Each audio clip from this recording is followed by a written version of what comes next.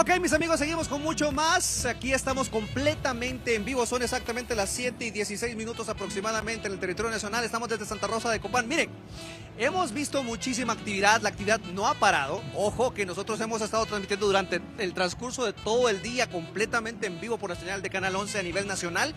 Y ojo, porque aquí tenemos algo muy interesante que yo quiero platicar aquí con la gente de Plan Trifinio, para que usted sepa exactamente lo que se trata, Plan Trifinio. A ver, nombre, mi amigo. Mucho gusto, Kelvin Zelaya, mi nombre, soy técnico del Plan Trifinio aquí en el departamento de Copán. ¿De qué se trata el Plan Trifinio? Porque yo veo algo muy interesante y es la unión entre El Salvador, Guatemala y Honduras. ¿Cómo así?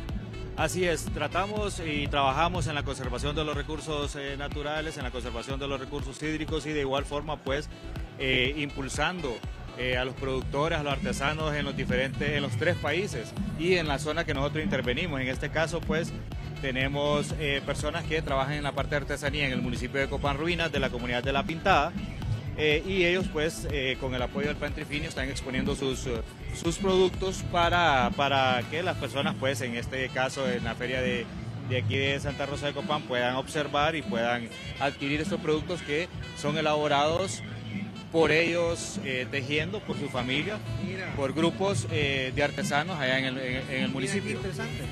De igual forma, tenemos estos Trifinio Box, estas cajitas que pueden observar que eh, se, están, eh, con, se están armando con productos eh, elaborados en los diferentes municipios de la región de aquí de, Honduras, en el de, elaborados en el departamento de Ocotepeque y en el departamento de Copán. tenemos café, que, que, son, que es de Copán Ruinas, chocolate artesanal también de Copán Ruinas. No, todo viene, o sea, ellas, por ejemplo, ¿de dónde son ellas dos? De la comunidad de La Pintada en el municipio de Copán Ruinas. Mira, qué interesante. O sea que vienen de muchos lados, de muchos municipios también para poder aportar dentro de lo que cabe dentro del plan Trefinio, entonces. Sí, de acuerdo. Y hay una iniciativa de nuestra designada presidencia, del abogado Ari Gutiérrez y de nuestro director ejecutivo, eh, Rafael Aguilar, para poder hacer estos eh, eh, Trifinio Box donde, donde va miel de San Marcos de Cotepeque, café de Copán Ruinas, chocolate de Copán Ruinas, también lo que ellos lo que ellas elaboran. Entonces eh, hay, un, hay, una, hay un grupo de, de productos de la región que son eh, eh, mostrados no solo aquí, sino que también a, nivel nacional. Excelente, muchísimas gracias de verdad. me emociona muchísimo que personas, incluso me imagínense de la frontera entre Guatemala, El Salvador, puedan también venir a exponer lo que hacen, el arte. Vamos a vendernos un poquito más por acá porque en definitiva hemos tenido, como les he mencionado anteriormente, sin ánimos de ser bastante exhaustivo, pero en realidad hemos tenido un día bastante lleno. Si usted se fija muy bien, y no es efecto de cámara, hay muchas personas todavía transitando por acá.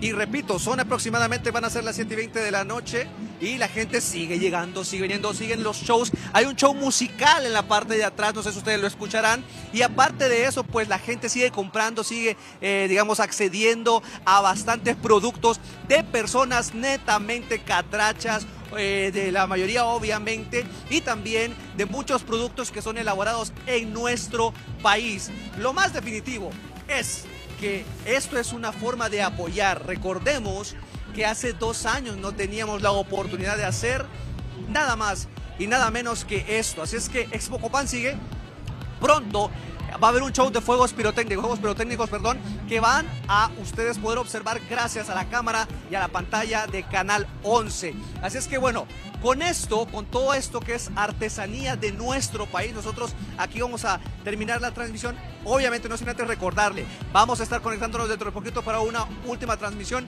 en la cual estamos llevando cada incidencia, cada paso de lo que nosotros conocemos como Expo Copán que sin duda es un éxito y que lo va a seguir haciendo. Recordamos, mañana es el último día, todavía tiene chance, véngase para acá, si no, mañana va a tener un día lleno de actividades y en la noche Polache estará cantando aquí en Expo Copan. Señores, gracias. Ojo, vamos a hacer un nuevo enlace más adelantito, no se lo pierda a través de la señal de Canal 11.